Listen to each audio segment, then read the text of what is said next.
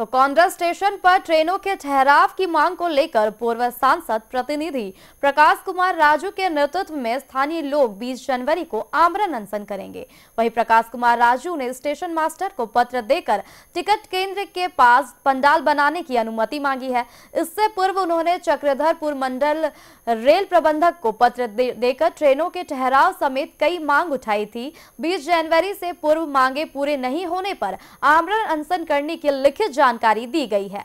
वहीं कांड्रा स्टेशन में मूलभूत सुविधाएँ एवं ट्रेनों के ठहराव की मांग का समर्थन करते हुए सरायकेला जिला परिषद अध्यक्ष सोनाराम बोदरा ने अपना नैतिक समर्थन दिया। उन्होंने कहा कि केंद्र की भाजपा सरकार पक्षपात कर रही है।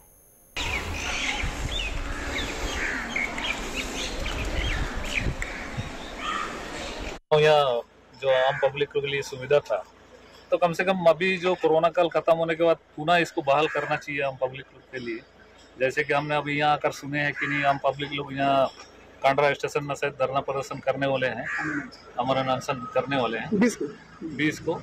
तो हम लोग भी धरना प्रदर्शन करने वाले के साथ हम लोग अपना सहयोग रहेगा कि आम पब्लिक का हित में ये होना चाहिए।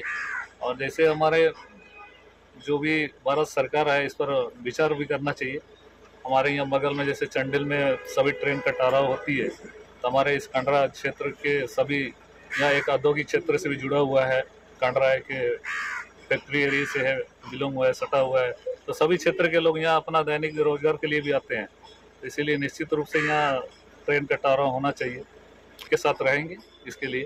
सरकार अपना जो है, अपना संसदीय क्षेत्र जो अपना बीजेपी का है तो उनका जो भी मांग होता है, उनको बहुत जल्द पूरा करती है और जहाँ विपक्ष का जो संसद है तो ये निश्चित रूप से ये देखा जा रहा है कि वो उपेक्षा किया जा रहा है कि जो जितने भी मांग होती है, उनको पूरा नहीं किया जा रहा है।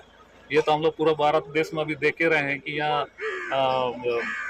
हर राज्य में जो जहाँ भाजपा की सरकार नहीं तो वहाँ के जो भी है, सीएम है, जो भी है, सारे, मैंने वहाँ के आदमी तरस्त है, केंद्र सरकार के जो नीति के कारण अपना जो है दबाव के कारण।